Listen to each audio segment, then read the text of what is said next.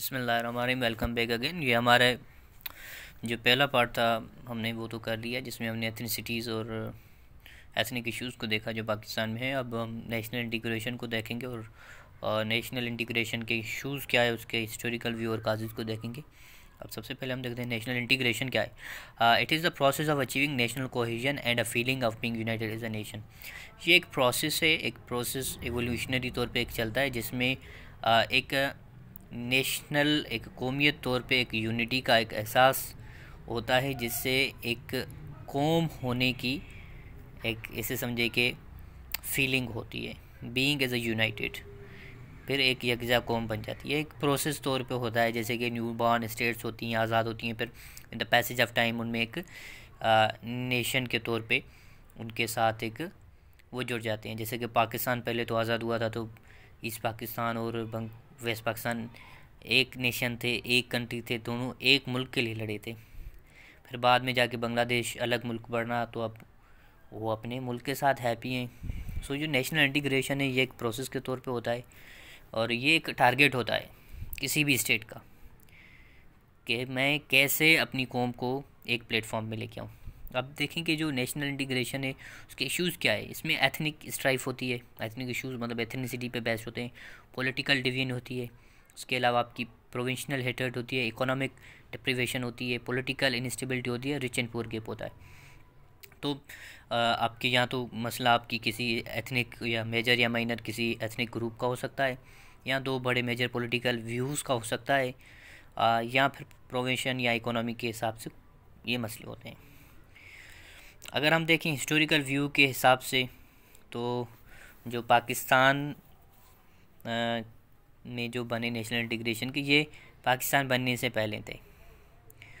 तो ये जो जितनी भी पॉलिटिकल फोर्सेस थे, उससे पहले जो यूनाइटेड इंडिया में थे और जो ब्रिटिश वाले थे, वो तो उन्होंने ये सारी चीज़ें पहले ही बनाई हुई थी। पॉलिटिकल क्राइसिस और इकोनॉमिक एंड एथनिक क्राइसिस ये बने हुए हुए थे। एक ईस्ट और वेस्ट का ये काम उस टाइम ही बना हुआ था जिसने आगे जाके पाकिस्तान को बांग्लादेश के शेप में एक रिज़ल्ट दिया। इसके काजेज़ क्या हैं? नेशनल इंटीग्रेशन के क्या क्या हैं? जो नेशनल इंटीग्रेशन नहीं हो रहा, उसमें फ्यूडलिज़म एक सबसे बड़ा काज है। फ्यूडलिज़म एक कॉलोनियल लेक्सी है। State with in the state का एक फार्मूला है। एक फ्यूडल लॉर्ड है, किसी एक कौम का, एक एथनिक एक एथनिक ग्रुप का, जिसको एक बंदा लीड करता है। फिर वो पॉलिटिकल तौर पे या किसी और फ्रंट में कंट्री को जाके थ्रेट करता है। नंबर दो पे एथनिक डिवीज़न है, सिंधी सराइकी बलोची, उर्दू, ये मसला है जो कि नेशनल इंटीग्रेशन को टारगेट या थ्रेट करके बैठा है। फिर उसके अलावा inevitable distribution of economic wealth है। ये हमने वेल्थ के सही सिस्टम बनाए नहीं हुए। प्रोविंस कोई एक ज़्यादा शेयर ले जाता है पॉलिटिक पॉपुलेशन के बेसिस पे एक प्रोविंस ज़्यादा कमाता है तो फिर उसको दिया नहीं जाता। उसके हिसाब से जो इशू बनता है फिर पंजाब वर्सेस रेज्ड एक हेटर्ड बनी हुई है प्रोविंस के अंदर विद इन द प्रोविंसेस और प्रोविंस टू प्रोविंस जैसे हम देखिए बलूचिस्तान चाहता है कि मुझे अपनी प्रोविंसेस की जो भी मतलब रॉयल्टी दी जाए उसके रिसोर्स की। सो so, मतलब एक थ्रू आउट द हिस्ट्री ये मसले चलते आ रहे हैं। उसके बाद जो दूसरा बड़ा सबसे मसला है वो सेक्टेरियनिज़म का है और अफ़गान वार का है। सेक्टेरियनिज़म जैसे कि ईरान में रिवोल्यूशन आई, उससे पहले भी कुछ थे, लेकिन उसके बाद ये चीज़ और बढ़क पड़ी।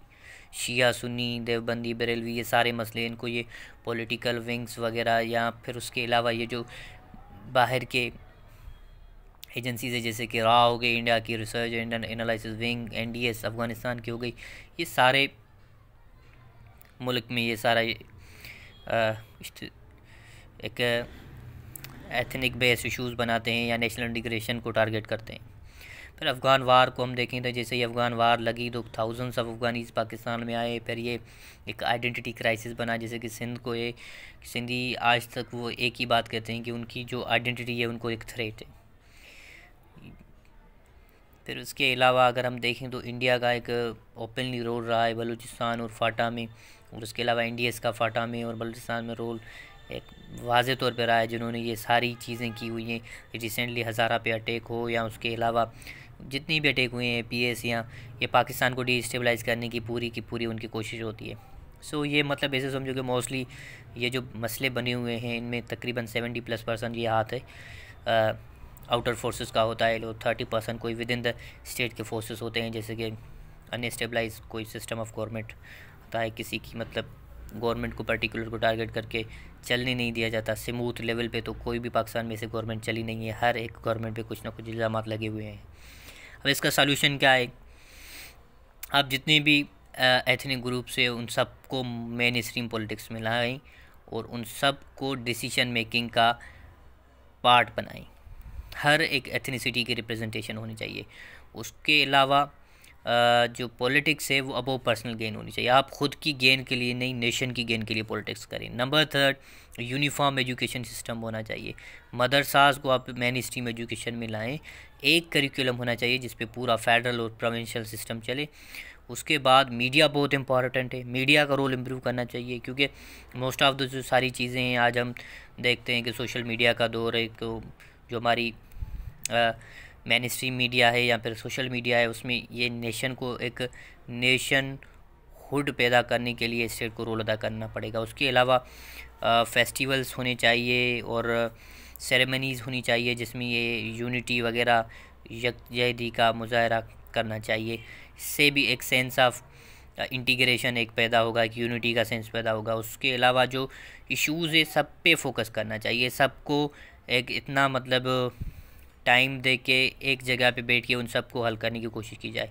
फिर बॉर्डर मैनेजमेंट की जाए, जैसे कि मतलब आपकी जो फॉरेन जो भी इन्वॉलमेंट है, उसको कंट्रोल किया जाए। इसमें यह होगा कि आपकी इंटरनल पॉलिटिक्स में या इंटरनल जो भी इश्यूज़ है, उसमें कोई मीडल इन नहीं कर पाएगा।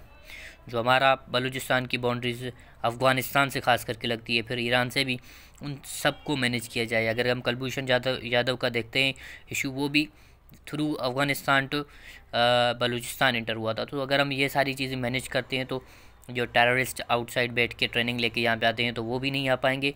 और जो जो बंदे हैं भेस बदल के यहाँ पे आ जाते हैं और नेशनल इंटीग्रेशन और एथनिक इश्यूज़ बनाते हैं तो वो भी नहीं होंगे। That's all thank you very much